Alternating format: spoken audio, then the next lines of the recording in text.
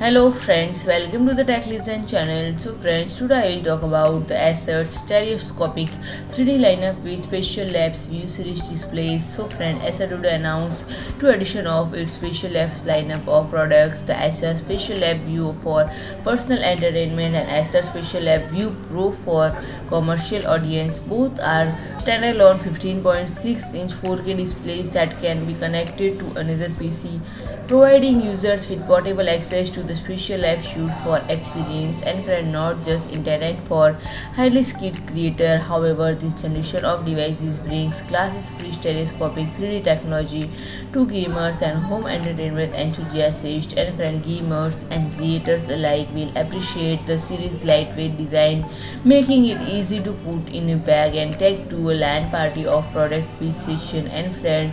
Creators in particular can depend on 100% coverage of the Adobe RGB color but gamers will also appreciate the device's 400 nits of brightness while the Acer Spatial Lab View comes with all new stereoscopic 3D platform. The Acer Spatial Lab View Pro comes with both the technology necessary to realize users' creation and also an intelligent industrial design that simplifies deployment.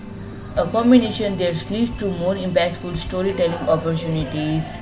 And friend, if I talk about the pricing, the pricing is starting at 1099 USD dollars. So friend, if you like my video, please do like, share and comment and don't forget to subscribe my channel and press the bell icon.